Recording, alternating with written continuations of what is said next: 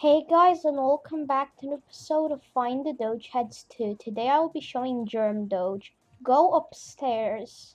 Now go to Sick Doge.